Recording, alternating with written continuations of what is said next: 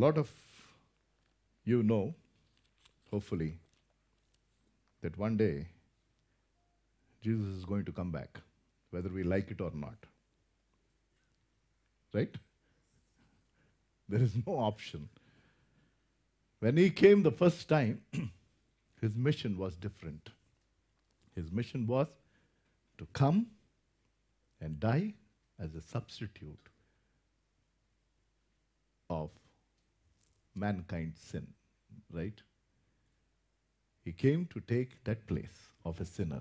He who didn't have any sin took upon the sin of mankind. After which, nobody has to do anything to get rid of their sin. Nothing at all. But there needs to be one thing to do that you believe in the act of that cross. And whoever believes, they are saved at that moment in time for eternity. And then, for all those who are saved, we are supposed to always be ready to meet Him. Right? Nobody will escape, but some of them will be glad, some of them will be sad, some of them will be mad that He came back. all of this will happen. Bible is two parts, right? One is the Old Testament and the other one is the New Testament. Old Testament is before the birth of Lord Jesus Christ, and the New Testament is after his birth. It starts with his birth, his life, his death, his resurrection, and his ascension. He's gone away, and then with an assurance that he comes back. And what is going to happen? And that is the last book of the Bible, which is Revelation, right? The things that are yet to happen. There are so many signs. There are so many things that are happening. This generation has seen a lot of things that no other generation has seen. So much has been changing before our eyes. A lot of things are happening which are pointing that is coming is way too close. Be it the earthquakes, be it the wars that are happening, blame it on economy and so on and so forth. What is happening happened in Greece just about a few weeks back. They're in such trouble. If you've not followed the papers, you, you followed? Yes, no? Bahubali? Uh, that we will know. And that, that is, how much is the first day's sale of Bahubali? Immediately you'll give the answer. I will not ask anyways. Because that is latest. People are getting Bali, but that, that nobody bothers. But there is so much of hype about. You know. So we don't know what is important to follow, what is not important to follow.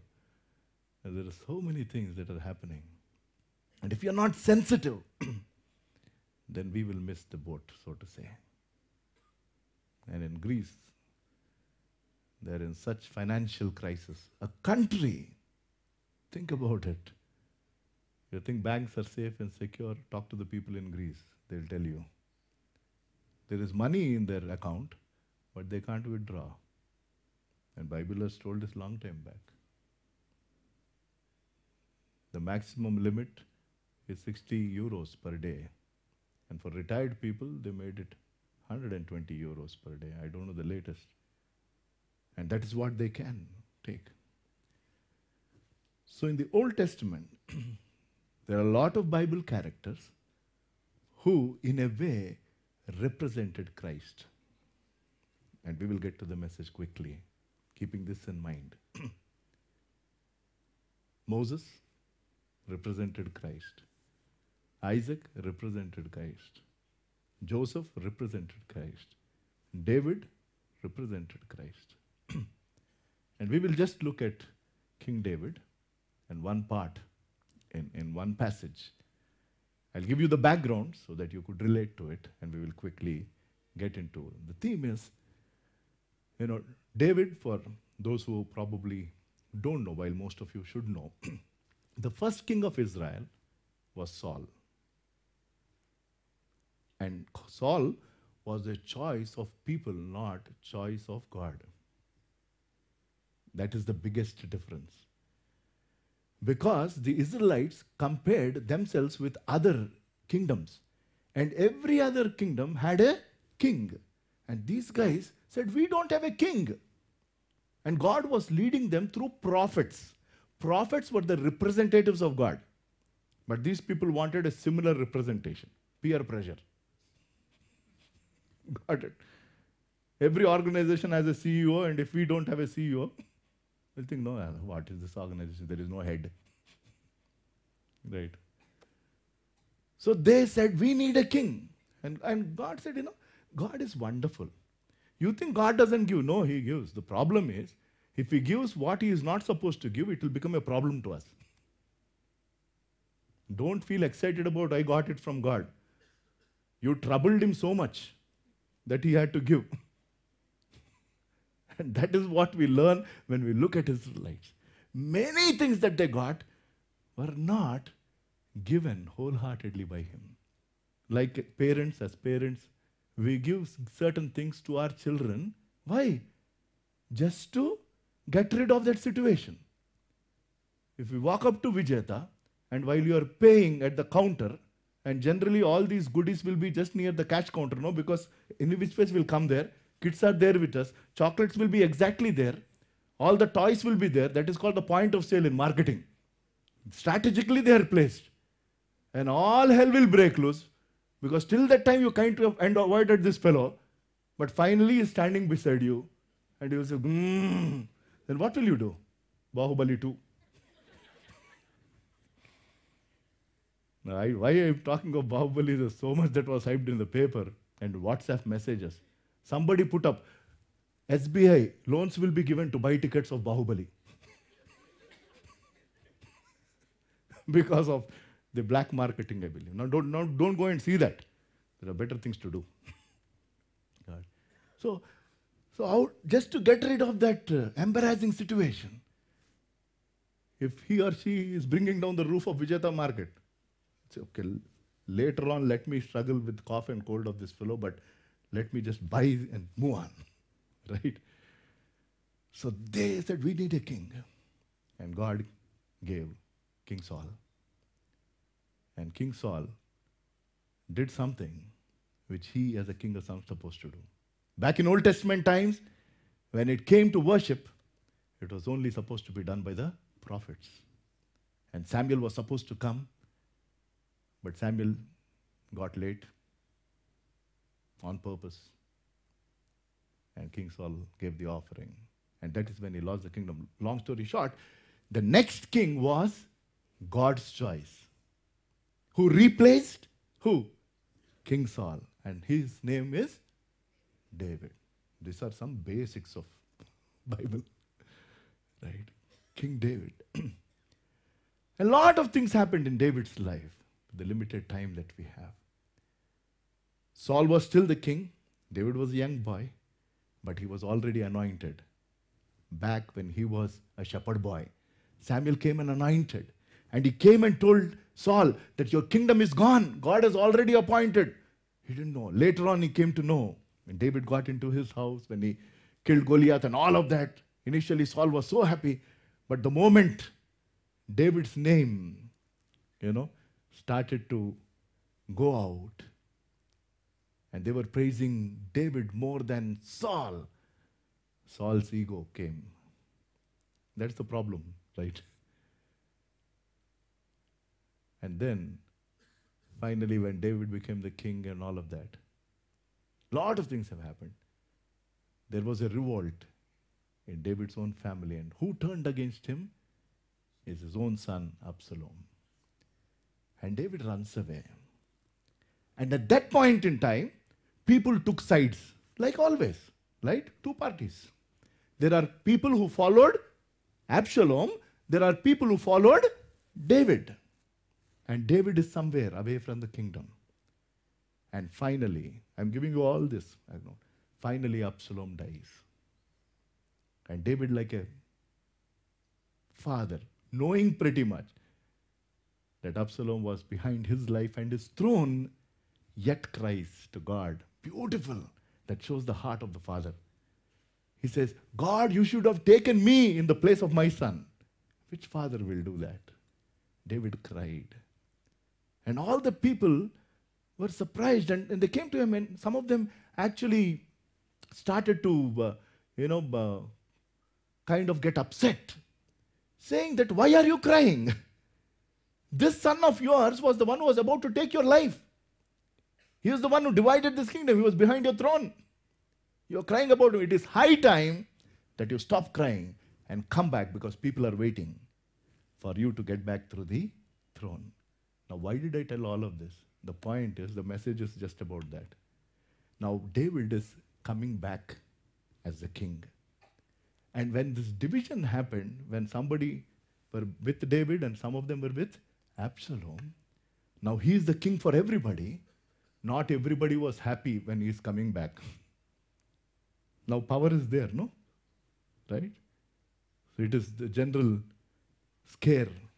If you have not done something right, now you know when he comes back, there'll be a problem. And let us link it up to Jesus coming back as the King of Kings and the Lord of Lords. As I told in the beginning, when Jesus comes back, everybody should face. The point is, each one of us, including me, how will we face him when he comes back? There are five people in the passage that we're going to meditate who are facing King David coming back. After when Absalom died. His own son who rebelled against him died. He is coming back. But when he was running for his life, when he went into the wilderness and those caves and all of that, there were people who did certain things. Now they, some of them did good, some of them did bad. And now all of them know that he is coming back. That is the background. And each one of them responds and reacts in different ways. And it is for us to just introspect ourselves. When the King of Kings and the Lord of Lords comes back, in which category will you fall? We will fall in one of them.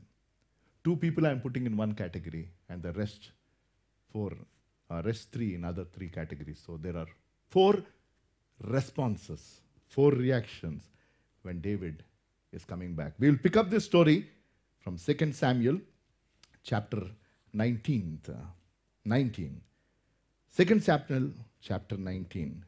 Just to give you a background of the five people, the first category is two people. And the first one we could, so, we could see, uh, if we go to uh, 2 Samuel chapter 19, verse 16 onwards, we will just see that part. Now, this is one of the, one of, one of the five. And Shimei, the son of Gera, a Benjamite, who was from Bahurim, hurried and came down with the men of Judah to meet King David. King David. Now, what is this guy's background? We will have to go to the 16th chapter from verses 1 to 4 of 2 Samuel. And when, when David left Jerusalem, uh, this is the other guy, Ziba, sorry. So that's fine. When David was a little past the top of the mountain, there was Ziba, the, the servant of Mephibosheth. Mephibosheth is the son of King Saul. And uh, who met him with a couple of saddle donkeys and on 200 loaves of bread, 100 raisin, and so on and so forth. So, since we have very limited time, let me just tell what this guy has done when, when David left Jerusalem, he was with Mephibosheth, and this guy sent some food to David. And there's a lot that happens, but when he sends this food, David asks about Mephibosheth. How is he? And he presents a wrong picture of Mephibosheth. And since David is away, this guy takes over all that belongs to Mephibosheth. So he is somebody who told some lies and deceived David. What he presented to David was not correct when he went away. That was Ziba. And when David came back, this guy is worried. That is the first category. Because he was not truthful. Not truthful. That is the first category, or one category of people. When Jesus comes back, they will be worried as to how he is going to treat them. Is there anybody here? If at all he comes back today, will you be in that worried category? Because you have not given your life to him, you don't know him personally, you haven't lived a, lived a life that is truthful, or so on and so forth. Maybe you are saved, but still you're not living up to what his calling is. There are a lot of people who are saved, but are not living lives according to that calling. And a lot of people who are saved don't even understand what that calling is. They're just living a life as, as, as nominal Christians, as ritualistic Christians. Probably somewhere you, you repented, hopefully. So you have that assurance of salvation, but after that, you haven't done really anything to the Lord. Then you will be in that worried category. Ziba was worried. The second person is Shimei. And if we go to the fifth verse of the, of the 16th chapter, here is another other, other person who is about to meet David when he's coming back. Second Samuel verse 16. And here is it. Whose name was Shimei. He came out and he started cursing David continuously. Let's go to the next verse. He not only cursed, and he threw stones at David and all the servants of King David. So this is the second guy. The first one was the one on the face of it appeared as if he was helping David. He sent food. He was Mephibosheth's servant, but he spoke ill about Mephibosheth and he took away the entire property of Mephibosheth. So he was not truthful. So now David is coming back as a king and he is worried. The second one is Shimei. And this guy outrightly cursed David when he was running away. When he was running away. This fellow felt that David will never come back as a king. Absalom will be the king. So he said, you know, he kept cursing. And, and one of uh, David's um, strong men in that passage, we don't have time to read all of that. Go home and read. It's very interesting. He tells David, I will go and kill this fellow. And David says, No. It's amazing. David has an opportunity to kill Saul previously, but he didn't. He says, I will, you don't have to do anything. Let him curse. Let him do whatever he wants. He started cursing him. He started throwing stones. Now David is coming back. So Shimei is about to meet, meet him in, in, the, in the 19th chapter. So these two people fall in that, that category of worried people because they were guilty of not treating David the way he is supposed to be treated. And if any one of you is guilty and have not been treating him as the God of your life, as the one who has given everything for you, if you're not living a life that is bringing honor and glory to him, if you're living a selfish life, or you've gone to the extreme of, you know, just blaming him for certain things in your life, there are, there are people who are who, on the face of it, say that they have believed in, in God, but yet, when certain things don't happen, when God doesn't meet your expectation, you end up blaming Him. And this guy goes to the extent of cursing and throwing thrones. But yet, when he is coming back, these two people meet, but they are worried what will happen. That is, that is the first category of people. The second one is uh, the one who is waiting for David, the one who is waiting for David. and uh, this is in verse 19 and 20. Verse 19 and 20. We'll have to go to the 16th chapter. 2 Samuel 16 chapter verse 19. Go to the 20th verse. Ah no, go to the go to the 19th chapter.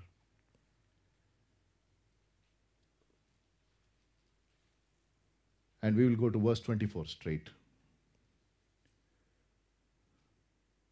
Verse 24, please. Now Mephibosheth, the son of Saul, came down to meet King David. Who was Mephibosheth? Mephibosheth was misrepresented by Ziba, right? But Mephibosheth is coming to meet David. And he had not cared for his feet, or trimmed his mustache, or washed his clothes from the day the king has departed until the day he returned. What does it teach? That means he didn't take care of himself. That means he has been waiting, anxiously waiting, believing fully that someday David is going to come back. That is what Mephibosheth teaches us. This is the second category of people. One category is who are they? Worried people. The second category is waiting people. And we need to be in this category. God told, be watchful, right?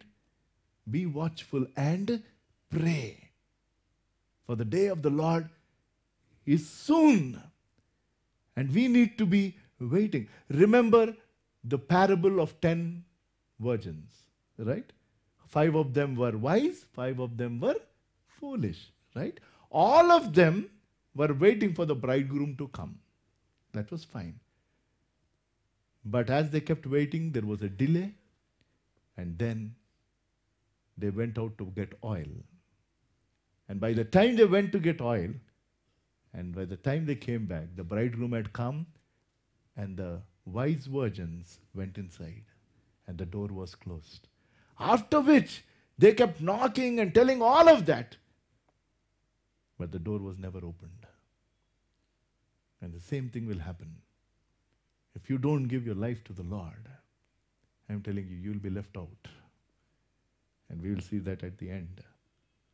And Mephibosheth, this verse says that he was somebody who has been waiting and waiting for the king to come. And all those who have given their life to the Lord should have only one desire that is to wait for his coming. And we need to be prepared to meet him. We need to be ready to meet him. Until then, we wait for his coming. That is the second category. And if we go to verse 31 of the same chapter, it's a long chapter. You can go home and read. You will find Barzillai. And this guy, if we go to the next verse, now Barzillai was a very aged man, 80 years old, and he had provided the king with supplies while he stayed, for he was a rich man. When David went away, look at his age. What is his age? 80 years old. He was a very aged man, but he was sending food and he was doing something for King David when he was away. What does it teach us? He was somebody who was working. Working. And each one of us is called to work for Him. The greatest job that each one of us has is to work for the King of Kings and the Lord of Lords. That is the greatest job because there is both salary and bonus guaranteed, provided we work. Salary is here, bonus is there. Where? In Gachibowli? No. Up there. We are working for the chief eternal officer, as I always think of him. He, that is the CEO I work for. Jesus Christ is the chief eternal officer who recruits every day, every minute, irrespective of whichever background you come from. Yes, I keep telling it many years. Irrespective of whatever age category, age no restriction, experience no restriction, nothing at all. You put up fake certificates and all of that wherever you are. He says, fine, now you stop doing that, come to me, I'll give you the best of the job. and then he will reward, provided we work. There is one beautiful parable which Jesus told. It amazes me. there is this master of the vineyard and he wants workers. And he goes into the market and he finds people. It, time and again, there's one word that comes they were idle. Back in Jesus' time, and even now, you'll find a lot of people idle. they were there. And, and this guy goes and asks, you know, um, don't you have any work? So, nobody hired us. This is one standard dialogue, no? I kept applying. No job came to me. As if you start a Birla's son. Nobody took me. Nobody hired. He says, Come. He didn't check their credentials. He says, Come with me early in the morning. Come with me. And he'll say, I'll give you one dinar. He tells them the wage. Not that he didn't set the expectation. Like many a times. No, this happens in the when I when I meet up other believer friends, I'm still in the corporate world. You know, one big big problem is when we get to know the salary of our colleague. Till then, life will be fine. Honestly, I'm telling you, life will be fine. The moment you'll get to know, great depression. Actually, I work more. I knew my boss takes care of him.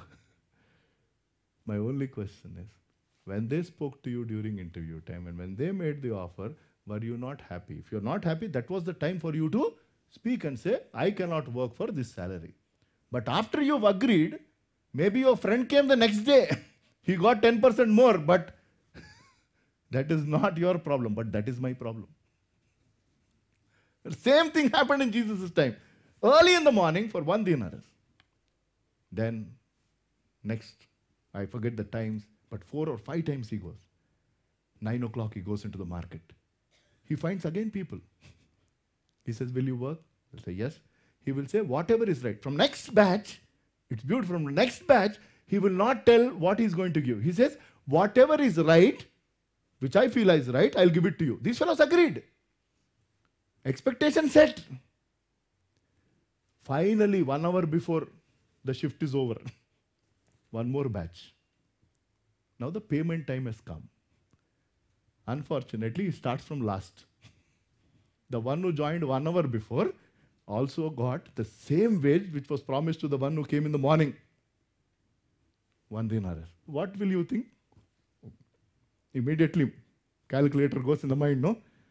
Oh, for one hour, I worked for eight hours, so I'll get eight times. He got the same amount. there was a big issue. There was a fight. And they called him unjust. They said that this is not right. The only question is asked is, haven't I not told you that I will, did I not pay what I told that I paid? I can do whatever with my money. Whose was the money? The money was the master's, right? So God gives us according to his wisdom. Our only job is to work for him. Compensation is his problem. So Barzillai, at the age of 80, he had so much love towards King David. And King David doesn't have a kingdom now. He's gone away. So he is working and sending. Beautiful lesson. And we are supposed to work for him with all our heart. And that is what is the New Testament command. Whatever you do, do it as unto the Lord. That is what I keep telling young people or wherever I go. If you are a student, study as if you are studying for your parents. Huh? Then we will not study. You will be in my category. because it was a misery. And I had to do something. Because my dad was in the same school, my mom was in the same school. Teachers, children, what marks they are getting, that's another problem. So for them, I had to do something, somehow I passed. Grace of God was there behind somewhere. Right? But after we come to know Him as our Savior, whatever we do, we need to do it what? As unto the Lord. God has kept me in this college, so I will study so that He gets a good name. God has kept me in this at the workplace. I will work, even though if my boss doesn't give me the right rating, I will do that because I'm doing it as unto the Lord. You're a housewife, taking care of everything at, at family. God has kept me as a housewife in this role. I will do it as unto the Lord. So continue to work. God wants faithful workers working in His vineyard. And that is beautiful. Barzillai tells us that we are supposed to work. That is the third category. And the last, and with that I close. The first one was there were two people there, Shimei and Ziba. Who are they? Worried group.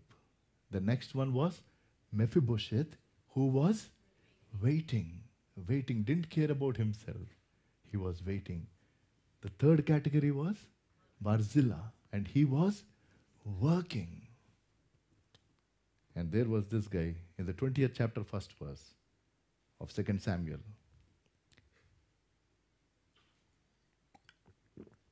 Sheba. And this is the one. And there happened to be there a rebel whose name was Sheba. And you will have to read a lot till the 20 verse, 21st verse in that 20th chapter. And this guy wanted to overthrow King David with others. The word rebel tells us everything, and then you can go and read when you get time.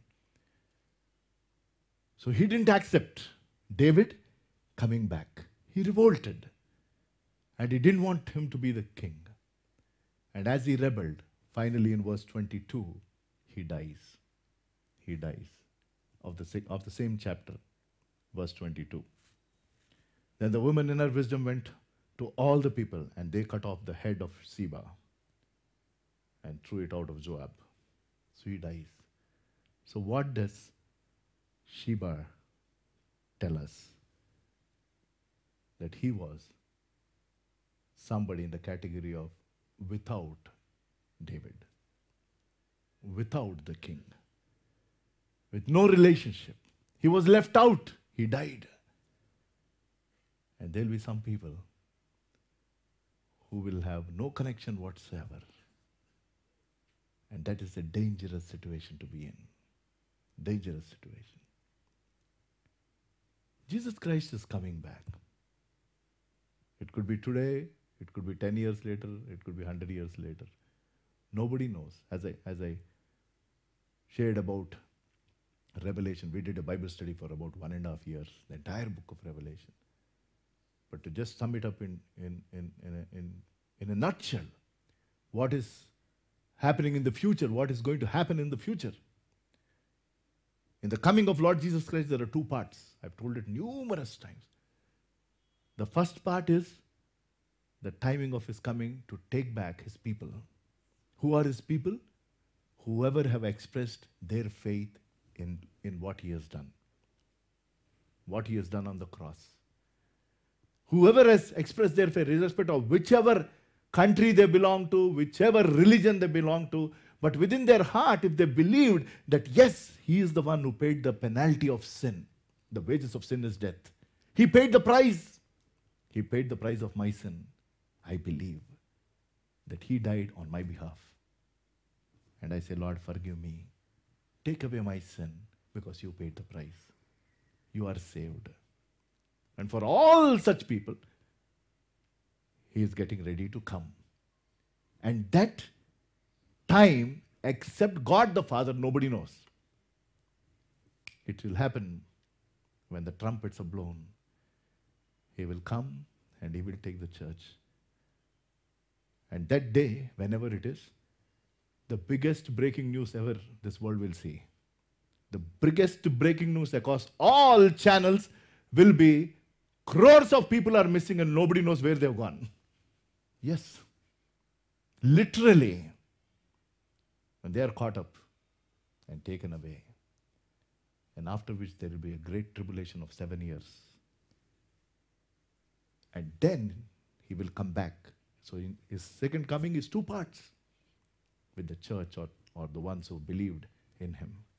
And there'll be a thousand years of rule and all of that. But the question for us today is the first part of his second coming, if it happens, whenever, in which category will you be found? Of these four categories. Will you be worried? Will you be waiting? Will you be found working? Or will you be without?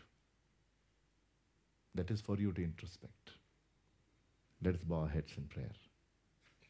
For the word that God gave us. When David returned as the king, not everybody was glad that he came back.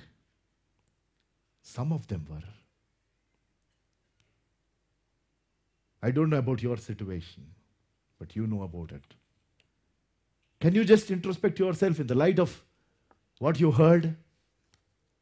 And if God's word have spoken to you, if they've touched your heart, don't harden it.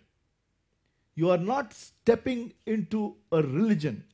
You are not losing your freedom. In fact, you are receiving true freedom, true friendship, true joy.